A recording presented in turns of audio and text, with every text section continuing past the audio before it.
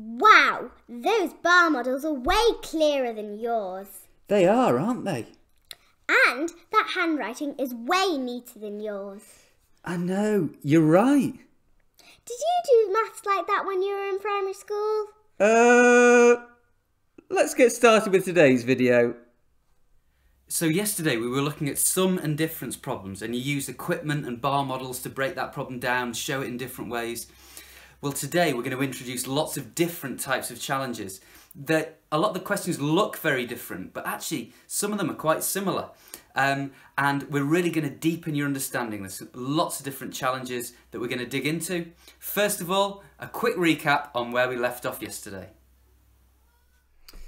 Well, yesterday we were looking at using equipment and bar modelling to build understanding. Oh, some of the examples that have come through, so clear. And the way you've been able to design your own questions, really thoughtful. Here, just a few examples that have been sent through.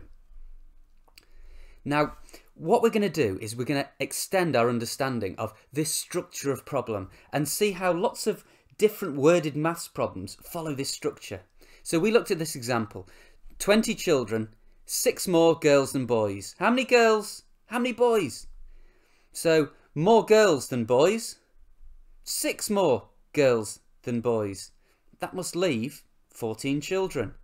Seven more girls and seven more boys. So in total, how many girls? 13. How many boys? 7. Well, have a look at this.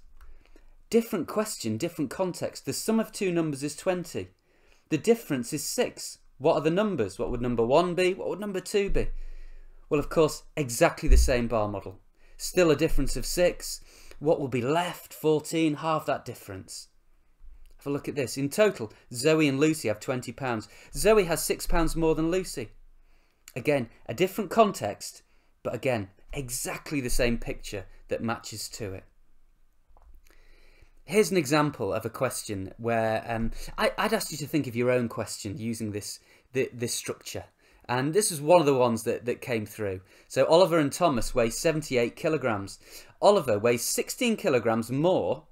How much do they both weigh? Pause the video and have a go.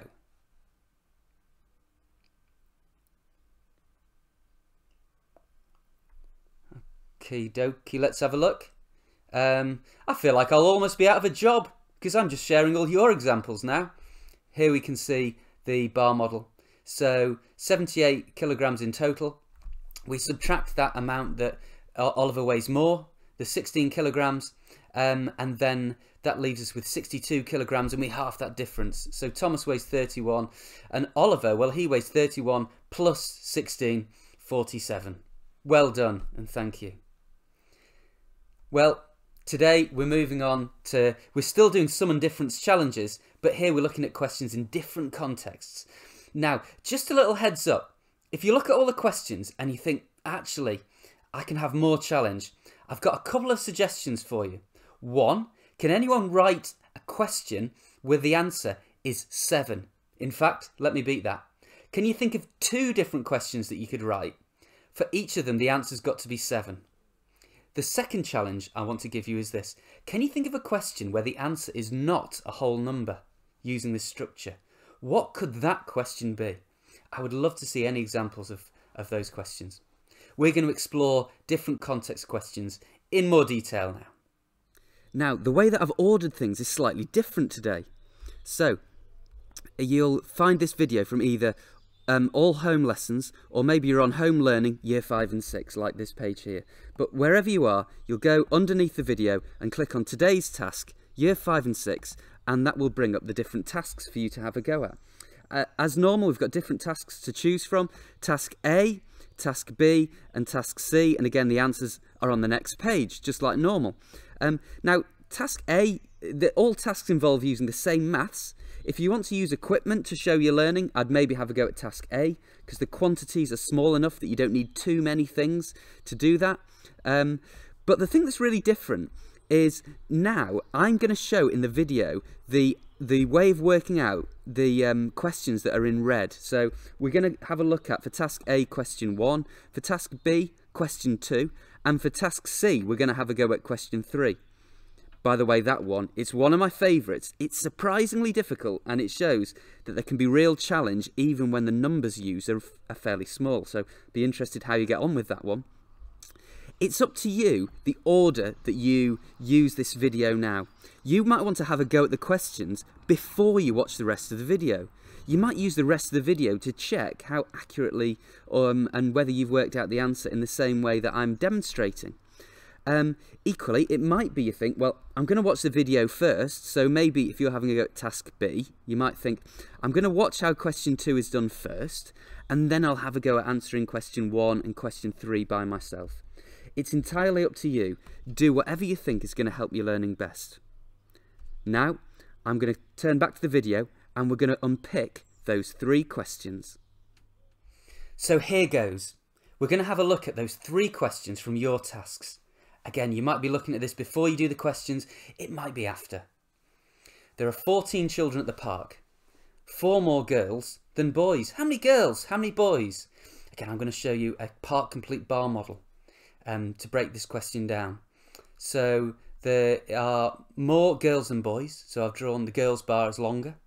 And that difference, there are four more girls than boys. Now, pause the video and just have a think. How will this bar model be completed?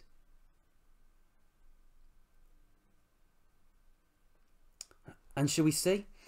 Well, there must be 10 more children in total for there to be 14 children in total at the park. So that will have to be five more girls and five more boys. So in total, there'll be nine girls and five boys.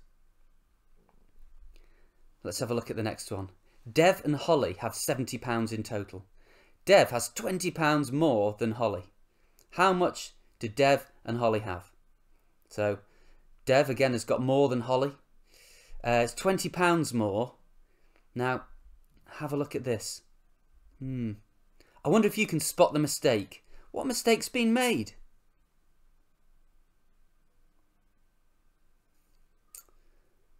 Well, Dev and Holly have £70 in total. In this bar model, this has been represented, so Dev has £70, not Dev and Holly have £70. Hmm, so how will the bar model need to look different? Dev has got £20 more, that leaves £50 that otherwise is split equally between Dev and Holly. Um, so Holly would have £25, Dev £45. I love this question. Think of two numbers. The sum of my numbers is 11. The difference between my numbers is 4. What are my numbers? Hmm. Numbers with sum, a sum of 11? 7 and 4? That's a difference of 3. Um, how about I'll try this? I need to make that difference bigger. 8 and 3. The difference there, that's 5. Hmm. Is this question impossible? I wonder. Have a think. The answers are in the answer section of the task questions. Is this impossible to answer or not? Why not? Hmm. Love to get your thoughts. So I hope you enjoy all these different challenges. It's been just an amazing thrill seeing all your work and everything. It's really kept me going, so thank you so much for that. I'll be back on Monday, so I'll see you then for episode 6. It'll be released then.